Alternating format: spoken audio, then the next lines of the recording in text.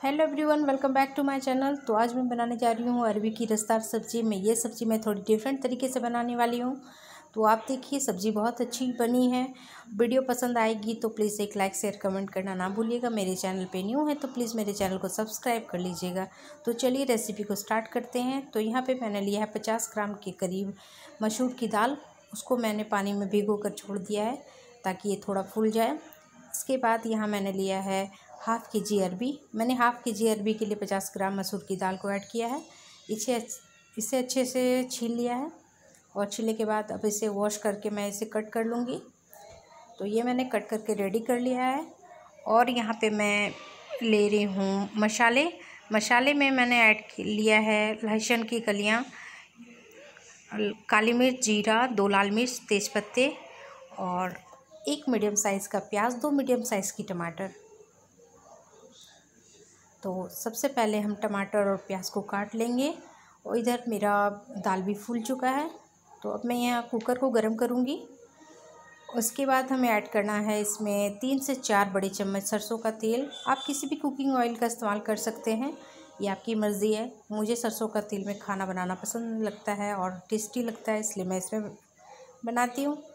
तो यहाँ मैंने तीन से चार बड़े चम्मच सरसों का तेल ऐड किया है। इसके बाद मैंने डाले इसमें दो तेज़ पत्ते इसके बाद मैं ऐड कर दूँगी ऑनियन, प्याज को ऐड कर दूँगी, कटे हुए प्याज को।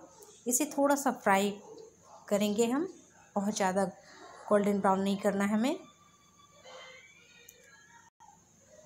बस इसका थोड़ा सा ये ट्रांसपेरेंट हो जाए, उतना तक पकाना। इसके बाद हम इसमें ऐड कर देंगे अरबी। ये मैंने अरबी को ऐड कर दिया। और अरबी को इस तरह से मिक्स कर लेंगे ऑनियन और ऑयल के साथ। इसके बाद ढक कर हम इसे पाँच मिनट तक इसी तरह पकाएँगे, मीडियम फ्लेम में कर कर तो मैं इसे ढक देती हूँ, एक बार और चलाकर। तो यहाँ मैं इसे ढक दे रही हूँ। और ये जब तक ढक के थोड़ा सा एक स्टीम लगता है, तब तक मैं मसाले तैयार कर लेती हूँ।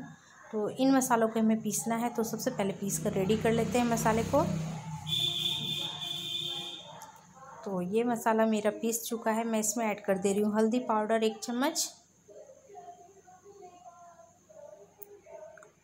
आप मसाले की मात्रा घटा बढ़ा सकते हैं अपने अनुसार से। और इसी में मैं ऐड कर दे रही हूँ नमक। जितना सब्ज़ी की क्वांटिटी उस अकॉर्डिंग मैंने नमक ऐड कर दिया है। अब मैं यहाँ सब्ज़ी की ओर चलती हूँ। तो ये देखिए, इसका भी कलर थोड़ा चेंज होना स्टार्ट हो गया है। और ये बिल्कुल हल्का भून चुका है। तो इस कंडीशन में अब हम इसमें ऐड कर देंगे सारे मसाले को। तो ये देखिए, मैंने मसाले को ऐड कर दिया है, हल्दी, नमक और सारे मसाले को। और इसके साथ हमें जब मसाला जब तक ना पके, तब तक हमें फ्राई करना है इसी तरह से। तो ये बिल्कुल मैं इसे फ्राई कर ले रही हूँ। इसको बिल्कुल इसी तरह से मिक्स करते हुए इसे फ्राई कर लेना है।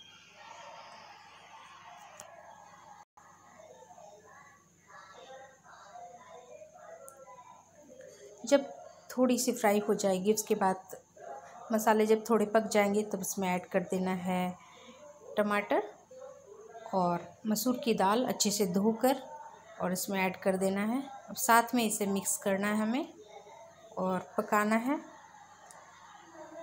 तब तक पकाना है जब तक कि मसाले का कच्चापन दूर ना हो जाए।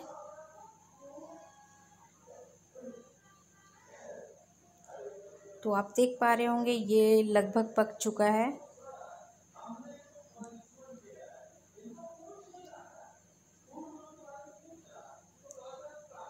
तो आप इसे घर पर एक बार ज़रूर इससे बनाकर इस तरीके से ट्राई कीजिएगा।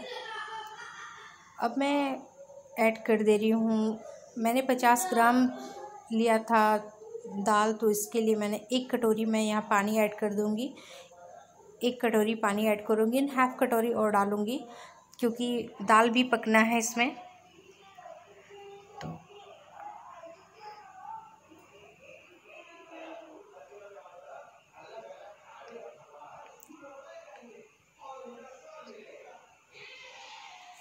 तो मैंने वन कटोरी और हाफ़ कटोरी मैंने पानी ऐड कर दिया है।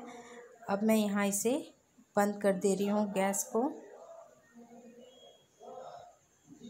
और दो विशल आने तक हमें इसे पकाना है। तो चलिए, मैं देखती हूँ मेरी सब्ज़ी बनकर कैसी रेडी हुई है।